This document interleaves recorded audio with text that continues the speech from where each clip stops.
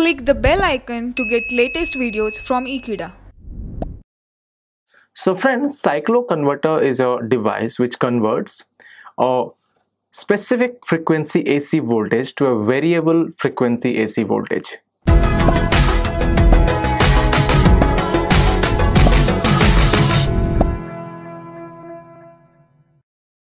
A good thing or a special thing about a cycloconverter is it never uses a DC intermediate circuit. So the specific point or the speciality of a cycloconverter is it never uses a DC intermediate circuit. That means the AC supply does not need to get converted to DC and again the frequency needs to be controlled. It never happens. So in case of a cycloconverter, a fixed frequency can be converted to a variable frequency without any DC segment link or any intermediate DC link circuit. So friends, there are multiple types of cycloconverters. For example, one is called step-up cycloconverters. Second one is so one is called step-up cycloconverters and the second one is called step-down cycloconverters. Step-up cycloconverters, friends, as the name suggests, it converts a frequency or an AC voltage frequency to a higher frequency AC voltage. And step-down cycloconverter would be of a specific AC voltage frequency, it can convert to a comparatively low voltage frequency. So friends, cycloconverters can be divided into two parts step up cycloconverter and step down cycloconverter step up cycloconverter can give an output frequency which is more than the input frequency and step down cycloconverter can provide a output frequency which is less than the input frequency now friends it is further divided into three parts one is one is single phase to single phase converter. Second one is three phase to single phase converter. The third one is three phase to three phase converter. So in case of a single phase to single phase converter, the input supply is a single phase AC and the output will be the same single phase AC with a variable frequency or with a different frequency.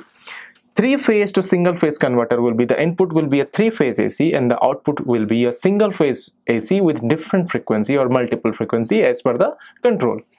Third and the last one would be three phase to three phase converter. So three phase converter or three phase to three phase converter has an input of three phase AC supply and an output of also a three phase AC supply with variable control method. So in case of a three phase to three phase AC converter or three phase to three phase cyclo converter, we have got the input three phase AC supply and the output three phase AC supply, but the frequency of the output three phase AC supply is different than the input three phase AC supply. So friends, let's draw the waveform of a cyclo converter output. For example, friends, this is the time t, this is say Vs. So I have got an AC voltage source Let's say V naught be the output of a cycloconverter, which might look like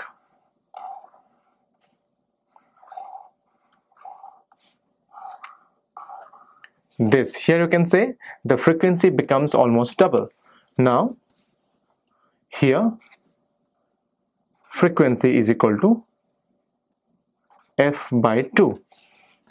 So here the frequency is f and here the frequency is f by 2 so here friends this wave has got double frequency than this wave now friends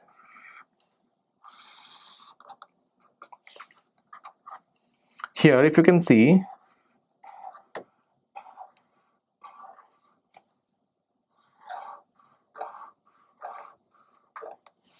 here frequency becomes f divided by 4 let's say this is f1 this is f2 so here if you compare the first waveform and the third waveform the first waveform has got a frequency which is four times than the third waveform. So friends this is the output of a cycloconverter or this is exactly how the output of a cycloconverter look like. So thank you so much friends for watching this video please subscribe to Ekeeda and stay tuned with Ekeeda thank you so much